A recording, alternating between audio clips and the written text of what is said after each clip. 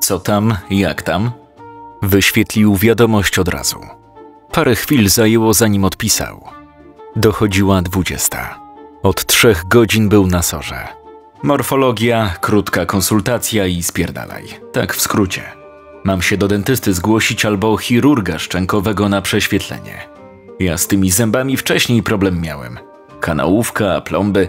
Ale że wyleciały jednego dnia? I nic ci nie powiedzieli? Powiedzieli, że w jednej sali ratują chłopu rękę, a karetka wiezie im babcie z zawałem. Dali odczuć, że mają mnie w dupie. Konowały. Mam jakąś gastrofazę po tym zatruciu chłopie.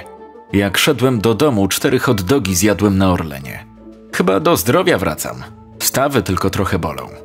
Ta, do zdrowia. Pomyślałem. A wczoraj wyplułeś trzy zęby.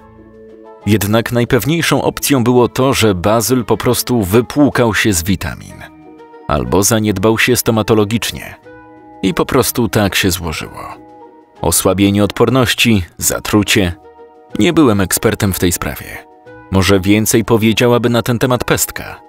Zresztą umówiłem się z nią na jutro w klubie bilardowym. Zaproponowałem partyjkę również Bazylowi, ale odmówił.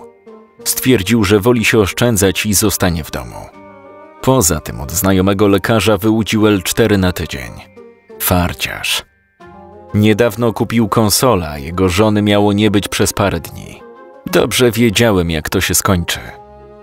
Siedziałem na kanapie opatulony w koc. Na kolanach miałem laptopa. Dwa tu for you w maku jeszcze weszły. Chłopie, dalej bym jadł. Zabrzęczała kolejna wiadomość po godzinie. Zarechotałem. Paweł miesiąc temu stwierdził, że czas robić formę. Przypomniałem sobie studenckie czasy, kiedy zamawialiśmy po półmetrowej pizzy na głowę. I tak zazwyczaj kończyło się to w nocnym kebabie. Mnie już takie tematy nie kręciły. Za to Bazyl pozostał gastronomicznym subarytą. W telewizji zaczęło się Warsaw Shore. Odłożyłem laptopa na podłogę.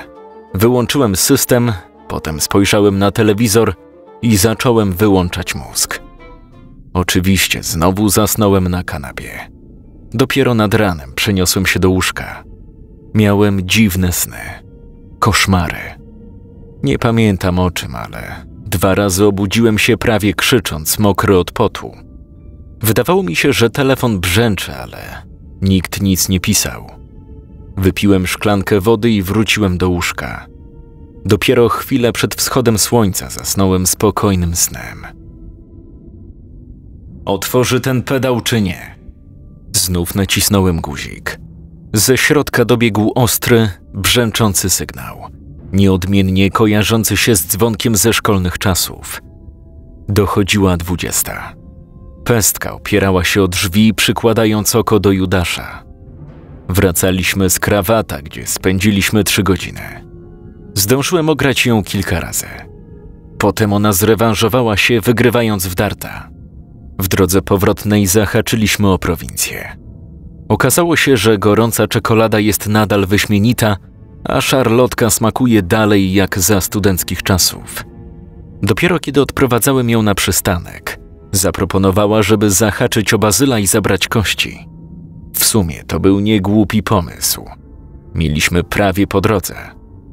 Śpi pewnie, albo żyga. Zaśmiała się i zastukała w drzwi. Bazyl, kurwa, otwórz! Prędzej żre. Wczoraj gastrofazę złapał. Zaskrzypiały drzwi na górze. Potem na klatce zaszurały kroki. Pawełku? Zaskrzeczała stara Malinowska. Wszedłem kilka stopni na górę i skinąłem jej głową. Babcia wspierała się na kuli, ubrana w jakąś koszmarną podomkę i ciemnobrązowy sweter. Dobry, pani Malinowska. Yy, śpi chyba. Nie otwiera. Wiem, wiem, ja już rano pukałam. A weźmie pan czarusia na spacer? Spojrzała na mnie błagalnie. Skinąłem głową. Sąsiadka wróciła do mieszkania. Po chwili usłyszałem znajome sapanie. Czarusia? Zapytała cicho pestka. Jakiego czarusia? Zobaczysz. Odpowiedziałem, śmiejąc się w duchu.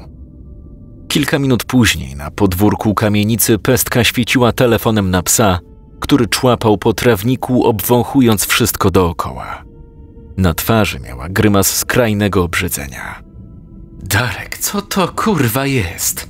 Zapytała, kiedy Czaruś odwrócił się i spojrzał na nią jednym okiem. Jakiś projekt badawczy? Zarechotałem. Jak widać, to szkaractwo potrafiło zrobić wrażenie nawet na niedoszłej pani weterynarz. To jest Czaruś, maskotka kamienicy. Takie Tamagotchi Bazyla. Jego czworonożny przyjaciel. Wygląda jakby wpadł pod tira, a potem ktoś pochował go na indiańskim cmentarzu. O, fanka klasyki horroru? No ba. Wcisnęła ręce w kieszenie powyciąganego swetra. Robiło się chłodno. Słońce dawno zaszło za horyzontem. Jakie to podwórko jest dołujące. Skrzywiła się, lustrując zdewastowane śmietniki i zapuszczony trawnik. Plus dziesięć do depresji, wskazała na jabłonkę z pojedynczym, podziobanym przez ptaki jabłkiem. Potem, przełamując obrzydzenie, wniosłem czarusia do Malinowskiej. Zadzwoniliśmy kilka razy do drzwi Bazyla. Już odwracaliśmy się, żeby wyjść, kiedy w zamku zachrobotał klucz. Drzwi uchyliły się na kilkanaście centymetrów. Bazyl nie zdjął łańcucha zabezpieczającego. Stanął w progu i spojrzał na nas. Ubrany w dres, z kapturem naciągniętym na głowę. Na twarzy miał duże ciemne okulary. W mieszkaniu światło było zgaszone. No co tam, mordo? Wychrypiał, mówiąc prawie szeptem, jakby miał zapalenie krtani. Patrzyłem na niego zszokowany. Wyglądał na ciężko chorego. Zdawało mi się, że zrzucił parę kilo. W półmroku nie byłem jednak pewien. Co ci chłopie jest? Zapytała pestka, patrząc na niego zdziwiona. Bazyl oparł się barkiem o próki i kaszlnął kilka razy. Grypa. Jakąś pieprzoną alergię mam z zapaleniem spojówek. Będę żył. Już mi się poprawia. Wychrypiał, widząc, że patrzymy na niego przestraszeni. Miałem wrażenie, że było zupełnie odwrotnie. Chcesz jakieś leki czy coś? Wszystko mam. Dzięki, stary, naprawdę. Nic mi nie trzeba. Odszedł na chwilę w głąb mieszkania. Ze środka uderzył nas zaduch połączony z zapachem jakby acetonu i czegoś kwaśnego. Pestkarz cofnęła się dwa kroki. Po chwili Bazyl wrócił, zdjął łańcuch i otworzył szerzej drzwi. Postawił na wycieraczce niebieskie wiadro zamknięte przykrywką. Kości, po to przyszliście, nie? Spytał i cofnął się do mieszkania. Przez uchylone drzwi patrzył na nas w milczeniu. Pestka kiwnęła głową i podniosła wiaderko. Dobra, ja wracam do łóżka. Źle się czuję. Dobiegł nas nieprzyjemny zapach jego oddechu. Bazyl cały pachniał chorobą. Idź do lekarza, mordo. Naprawdę. Albo zamów wizytę domową. Masz w tym pakiecie z pracy, nie? Tak zrobię. Mruknął i bez pożegnania zamknął drzwi. Staliśmy z pestką na klatce, nie bardzo wiedząc, co robić. Spojrzałem na nią zaniepokojony. Była równie zaskoczona jak ja. Wziąłem od niej wiaderko i wyszliśmy z kamienicy. On ospę przechodził? Zapytała, kiedy szliśmy już na przystanek. Wzruszyłem ramionami. Nie wiem. Czemu pytasz? Ma światłowstręt. Mówi, że wszystko go boli. Wcześniej żygał. Ja za dzieciaka miałem takie same objawy. Na koniec dopiero mnie wysypało. No, nie mówił nic na ten temat. Pewnie przechodził. Każdy prawie przechodził. Jak jeden dzieciak przynosił do szkoły, to wiesz, fala szła, jak u królików. One też tak infekcje łapią. Mój dziadek miał. Dodałem, widząc jej zaskoczone spojrzenie. Zaśmiała się. Zadzwoń do niego jutro, co? Powiedziała i wzięła wiaderko. Jechał jej autobus. Smoknęła mnie w policzek i podbiegła na przystanek, grzechocząc kośćmi. Tak zrobię, odpowiedziałem, patrząc na tylne światła odjeżdżającego autobusu. Jednak w następne kilka dni wpadłem w wir pracy. W firmie sporo się działo, jak zawsze przed końcem miesiąca. Wypełniając górę papierów, nawet nie zauważyłem, kiedy mijało 8 godzin. Od niedzieli miałem w lodówce tylko światło i zapomnianą, prawie pustą butelkę keczupu. Jadłem na mieście, albo odgrzewałem gotowce w mikrofali, plus pizza, pepperoni na cienkim z podwójnym serem. Jej smak chyba do końca życia kojarzyć mi się będzie z korporacyjną gorączką na koniec miesiąca. Bazyl powoli zdrowiał. Z tego co pisał, trafiła go grypa. Nie sprawdziły się nasze teorie z ospą. Przechodził ją lata temu, jeszcze w przedszkolu. Odpisywał lapidarnie, w przeciwieństwie do pestki. Od ostatniej niedzieli prawie codziennie pisaliśmy do późna w nocy. Kości finalnie dalej czekały na badanie. Koleżanka pestki zapowiedziała, że w tym tygodniu nie będzie miała czasu się nimi zająć. Próbowałem umówić się z Bazylem na piwo, ale nie miał ochoty. Żona dalej siedziała na szkoleniu. Był sam w domu. W Bazylu odzywał się czasem mizantrop i outsider. Potrafił na przykład wyjechać na działkę na 2-3 dni, zostawiając telefon w mieszkaniu. Kaśka odbierała i mówiła każdemu, że Paweł jest nieosiągalny i oddzwoni jak wróci. W piątek pojechałem do domu.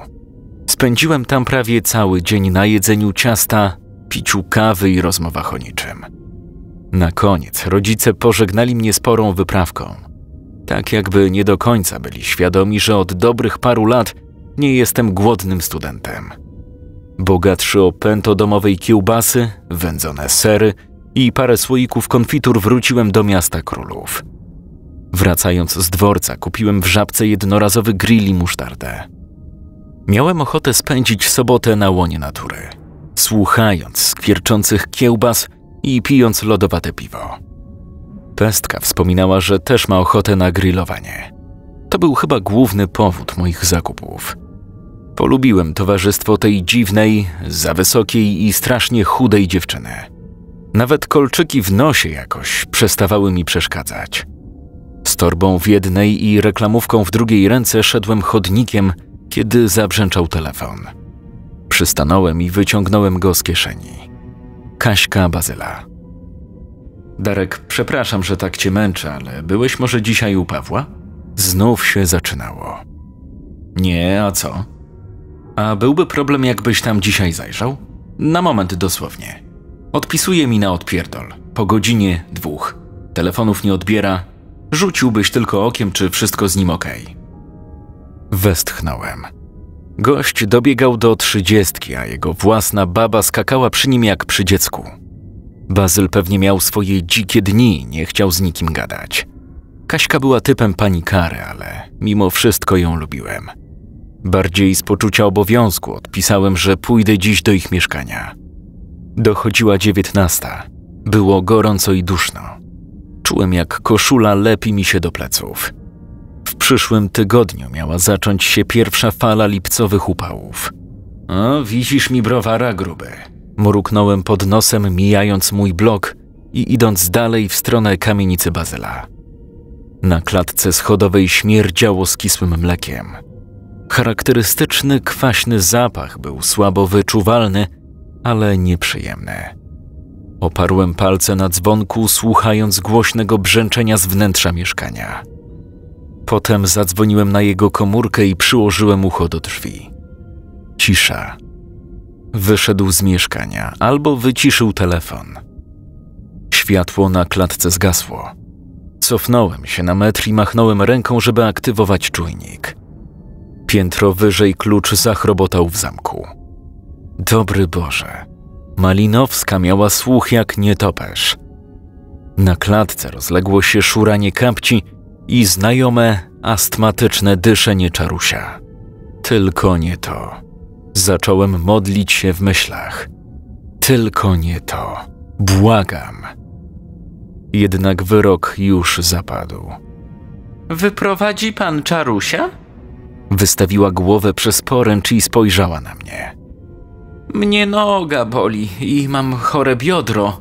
Westchnąłem zrezygnowany i postawiłem torbę pod drzwiami.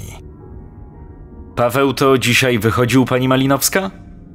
Zapytałem, patrząc jak jamnik pełznie w moją stronę. Klatka schodowa powoli wypełniała się zapachem naftaliny, herbaty i smrodem czarusia. Sąsiadka Bazyla bez względu na porę roku siedziała przy zamkniętych oknach. Był to typ kobiety, która w najgorszy upał zamknie lufcik w komunikacji miejskiej, bo jej wieje. Pawełek to jakiś nieswój, panie Darku. Ludzi nie poznaje. Nie ukłoni się. Trzy dni temu go widziałam. W ciemnych okularach chodził. Mówił, że alergię ma. Kaptur na głowę naciągnięty, spodnie długie, a prawie 30 stopni. Jak on tak może? Z zakupami ze trzy razy biegał. Ja z okna widziałam. Mówił, że grypę ma. Wolałem nie wchodzić ze starą w zbędne dyskusje. Czaruś zszedł na parter, ale nie podszedł do mnie. Stanął w pewnej odległości i wyszczerzył zęby. Nie patrzył na mnie. Patrzył na drzwi Bazyla. Klepnąłem otwartą ręką Wudo, przywołując go bliżej. Zignorował mnie. Dalej patrzył na drzwi. Skulił uszy. Co, czarusiu, nie chcesz iść? Idź z panem Darkiem. No idź. A co to tak u państwa śmierdzi na klatce? Czuje pani? A tak, ze śmietnika chyba. Śmieci nie segregują, wrzucają co popadnie.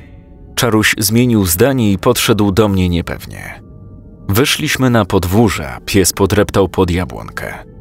Okna w mieszkaniu Bazyla były zamknięte i zasłonięte roletą. Stanąłem na palcach, próbując zajrzeć do środka. Nic nie było widać. Zastukałem kilka razy w szybę, ale również bez efektu. Śpi Kasia pewnie. Światła pogaszone, sąsiadka mówiła, że nie wychodził. Spokojnie. Wysłałem wiadomość do żony Bazyla. Reagowała zbyt nerwowo na jego odpały. Chciałem chociaż trochę oszczędzić jej nerwów. Okej, ja się nie chcę wkurwiać. Daję mu czas do jutra. Jak nie, to wracam ze szkolenia i będzie miał przechlapane. Odpisała po minucie. Zarechotałem pod nosem. Potem odniosłem czarusia, zabrałem torbę i ruszyłem w stronę mojego osiedla.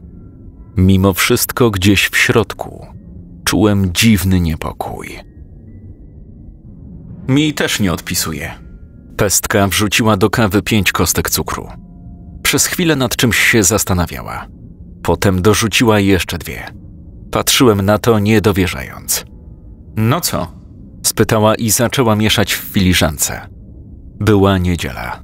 Dzień po mojej wizycie u Pawła.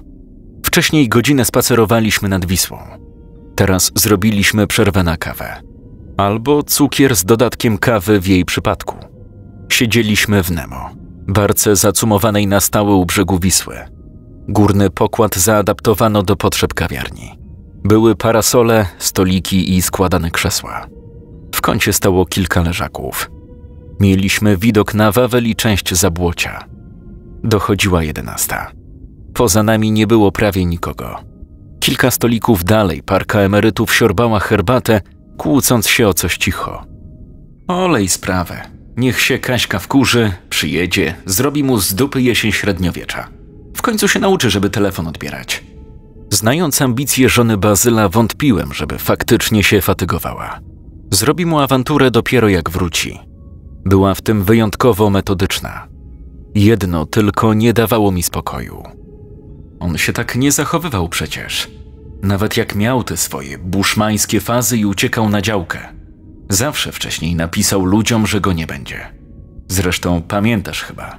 Z nim się coś dziwnego dzieje. Pestka myślała, że żartuje. Chwilę patrzyła na mnie, a potem uśmiech spełzł z jej twarzy. Ty serio mówisz? Kiwnąłem głową. W ciągu kilku minut opowiedziałem pestce wszystko, łącznie z naszym odkryciem w piwnicy. Słuchała z szeroko otwartymi oczami. Wyjęła papierosa i zapaliła, cały czas patrząc na mnie zdziwiona. Potem lekko poczerwieniała na twarzy. Czemu ty mi dopiero teraz to mówisz? Bazyl średnio chciał o tym gadać. Dalej trzymał się wersji, że znajdzie tam żydowskie złoto. Próbowałem zażartować, ale pestka dalej była śmiertelnie poważna. Darek, czy ty z chuja spadłeś? Parka staruszków kilka stolików dalej spojrzała na nią oburzona. Pestka ostentacyjnie ich zignorowała. Pchacie się do zamurowanej skrytki, znajdujecie kości Bóg jeden wie czego. Bazyl grzebie w nich gołymi kurwa rękami. Później zaczyna chorować. Ty na biologię nie chodziłeś w ogólniaku? Zatruł albo zaraził się jakimś gównem w tym waszym lochu i to go rozłożyło. Na studiach widziałam parę olewanych zakażeń. O sepsie słyszałeś. Zgorzeli gazowej? Wiesz, jaki syf potrafi się rozwinąć w ziemi? Milczałem. Zrobiło mi się głupio. Coś było na rzeczy. Znałem Pawła szmat czasu i nigdy nie skłamał. Mówił, że ma grypę. Wziąłem to za pewnik. Idziemy do niego, Darek. Dzisiaj. Teraz. Jak dalej ma gorączkę, lecimy do lekarza. Pestka odpaliła papierosa i dmuchnęła dymem przez nos. Ale mnie wkurwiliście. Naprawdę. Jak z dziećmi. A mówią, że chłop z katarem myśli, że umiera. Kiedy z nim ostatnio gadałeś? Mm, trzy dni temu coś pisał. Jedną czy dwie wiadomości. Że mu się poprawia.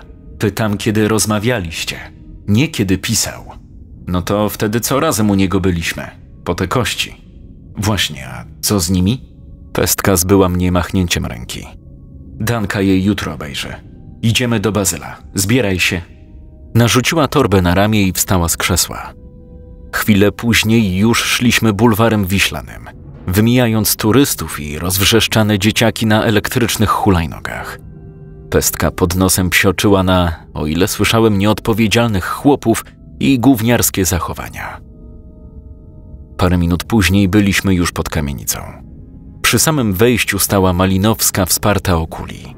Rozmawiała z jakimś staruszkiem o wędkarskiej kamizelce.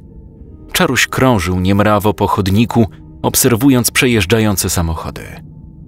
Minęliśmy ich bez słowa i weszliśmy na klatkę schodową. Dalej cuchnęło skwaśniałym mlekiem. I czymś jeszcze, podobnym do amoniaku. Ta cała kamienica nadawała się do generalnego remontu i odgrzybiania. Stanęliśmy przed drzwiami i pestka nacisnęła dzwonek. Raz, drugi. Potem głośno zastukała w drzwi. Wybrałem numer Bazyla. Nie odbierał. Kiedy był online? Sprawdziłem Messengera. 12 godzin temu. Zadzwonię po Kaśkę chyba. Chłopa musiało rozłożyć na amen. Albo po karetkę. Tylko co jak mu się poprawiło i gdzieś po prostu polazł? Stara Malinowska marudząc pod nosem weszła na klatkę i zaczęła człapać po schodach. Na moment stanęła obok nas. Pawełek to jest w ogóle? Ja go ze trzy dni nie widziałam. Chory jest pani Malinowska. Grypę złapał. Przypomniałem jej i na szczęście nie wdawała się w dyskusję. Stuknęła czarusia końcem kuli, ponaglając do wejścia na górę. Potem dysząc i sapiąc weszła na pierwsze piętro i zniknęła w mieszkaniu. Jak tylko zamknęła drzwi, znowu nacisnąłem dzwonek. Słyszeliśmy tylko brzęczenie ze środka mieszkania. Pestka jakby odruchowo szarpnęła za klamkę. Drzwi zaskrzypiały i uchyliły się na kilka centymetrów. Spojrzałem na nią zdziwiony. Pchnęła drzwi i stanęła w progu. Potem szybko cofnęła się o krok, zasłaniając nos ręką. Też to poczułem. To z mieszkania śmierdziało na całą klatkę.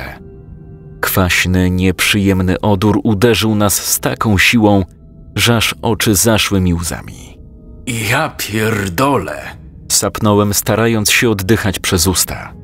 Nie potrafiłem zidentyfikować woni. Nie była to zgnilizna raczej mieszanina amoniaku i zjełczałego mleka. Pestka kilka razy kaszlnęła i otworzyła okno na klatce. Wyjechał gdzieś i zostawił otwartą lodówkę? Spojrzałem na nią. Moje pytanie było tak absurdalne, że aż sam się skrzywiłem. Gdzieś w głowie dzwoniły mi opowieści o sąsiadach wzywających policję do zamkniętego mieszkania, z którego wydobywał się smród.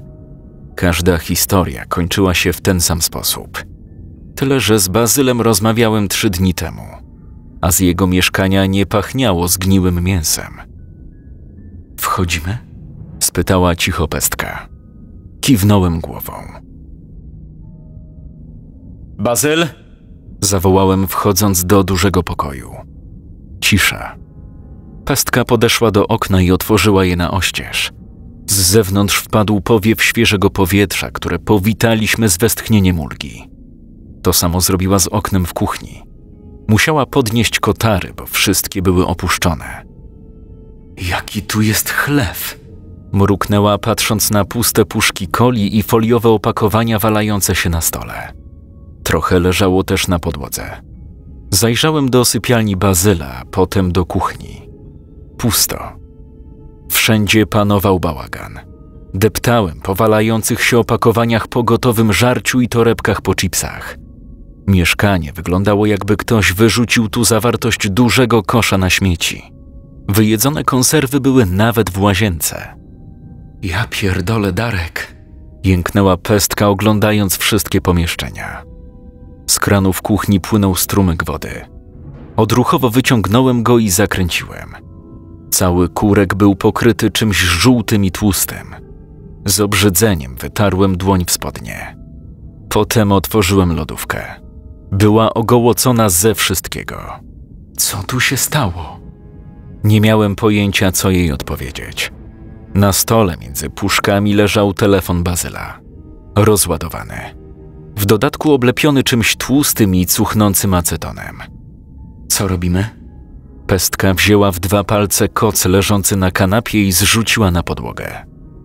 Ty, patrz. Nachyliła się nad meblem. Podszedłem do niej. Szara tapicerka była cała poplamiona i nasiąknięta czymś szaro-zielonym.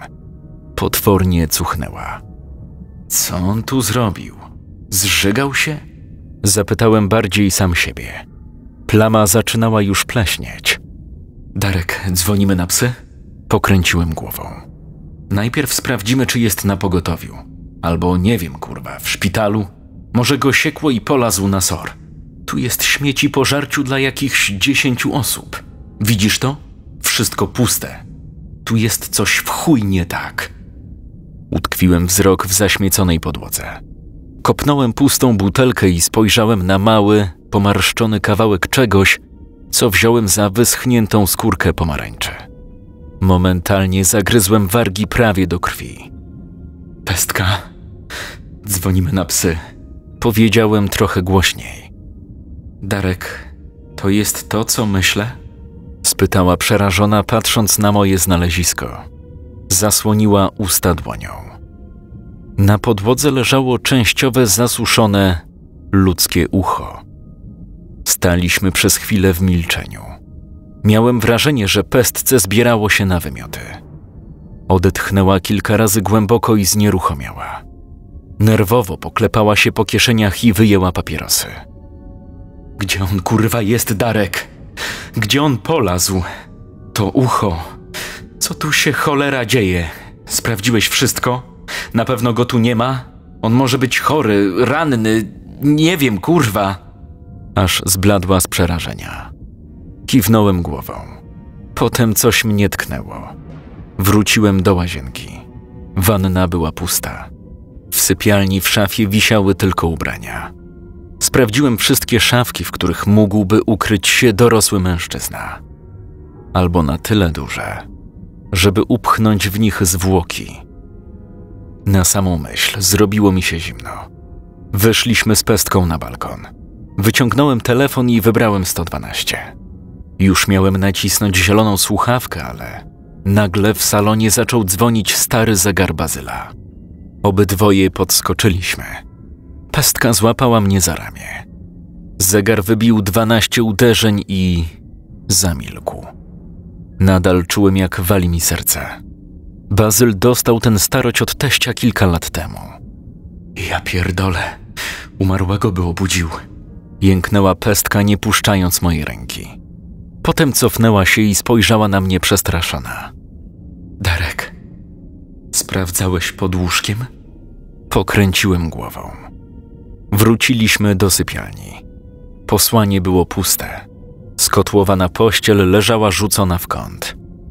Dopiero teraz dostrzegłem na materacu kilka plam, podobnych do tych z kanapy.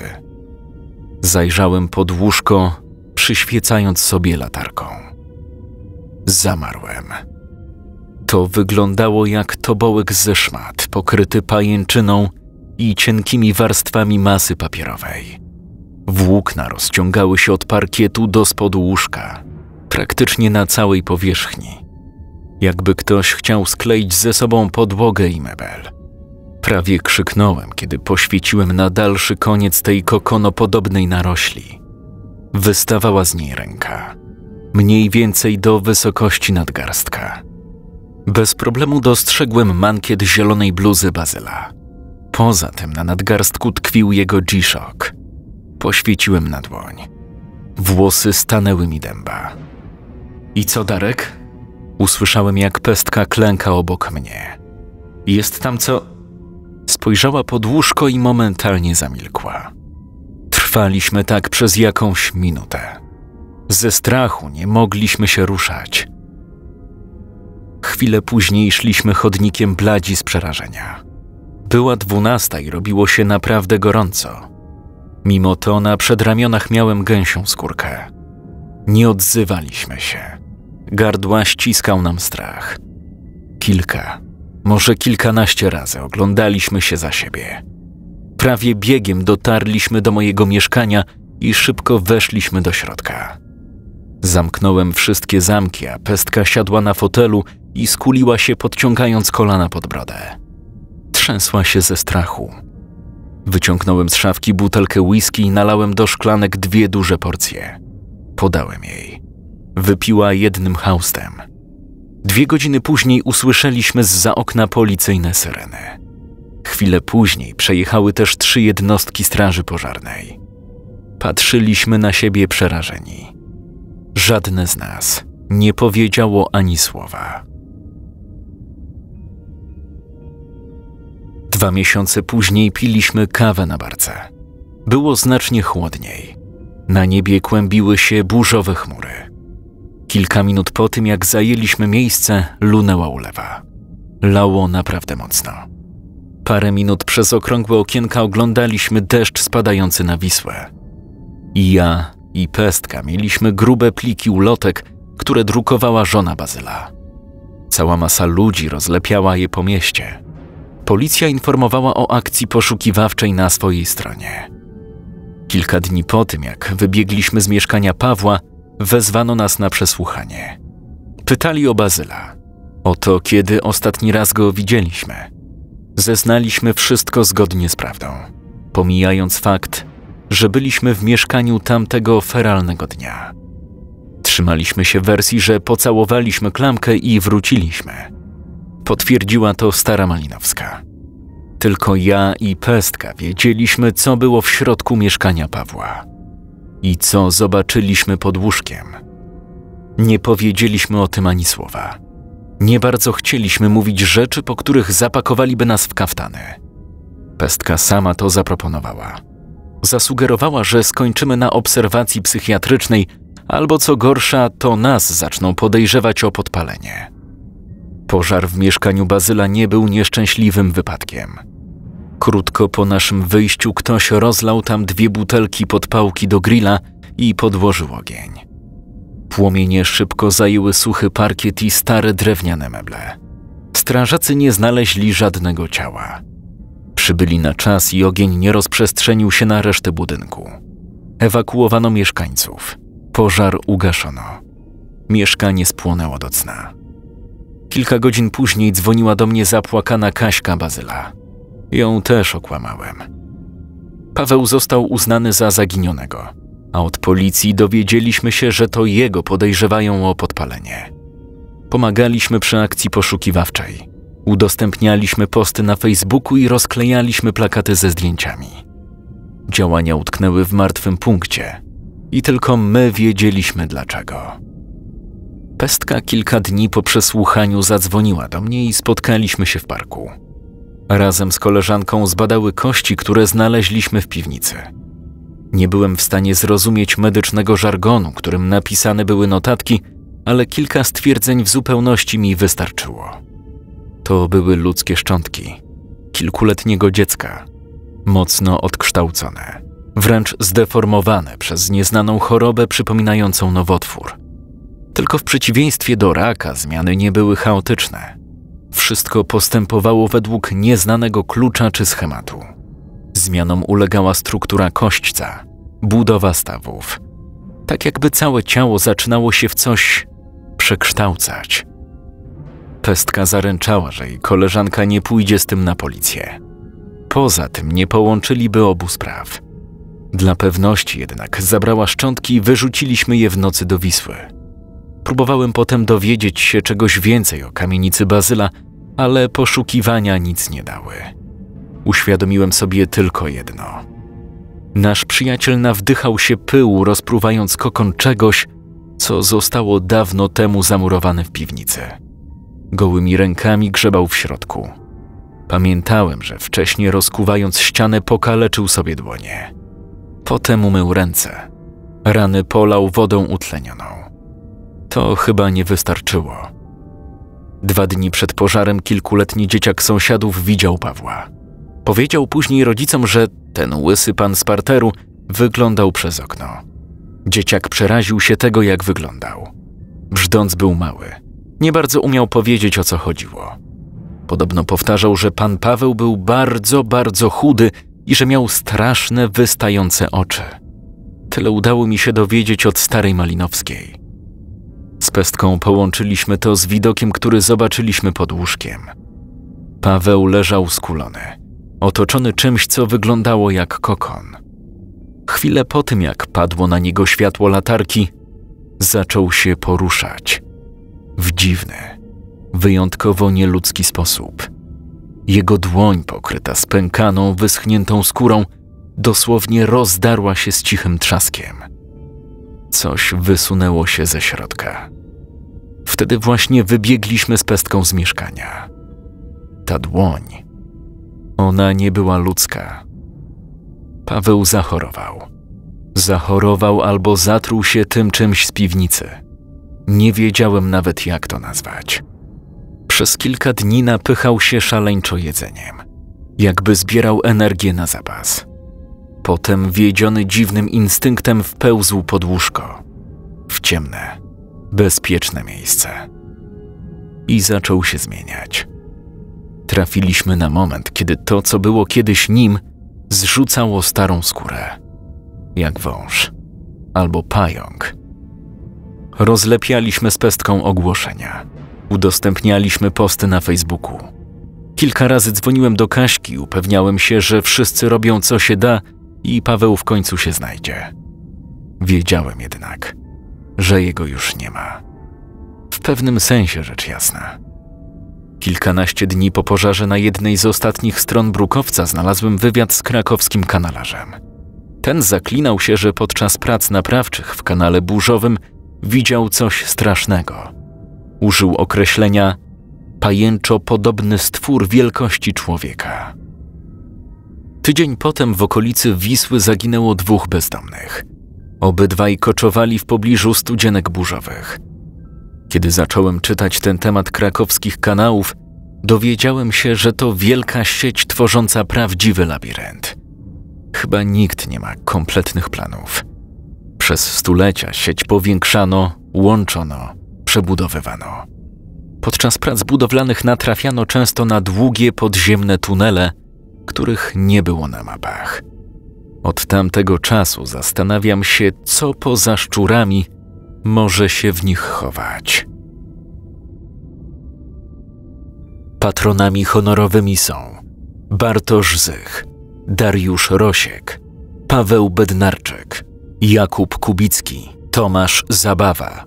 Patronami Mystery TV są Aleksandra Roszkiewicz, Natalia von Riva, Paweł Szuszkiewicz, Mariusz Popek, Tomasz Jakubowicz, Karol Śledź, Marcin Pielak, Bartosz Promiński, Mateusz 2727, Bartek Wąchała. Opracowanie wersji dźwiękowej dla kanału Mystery TV studiolektor.pl. Scenariusz Marcin Młynarczyk.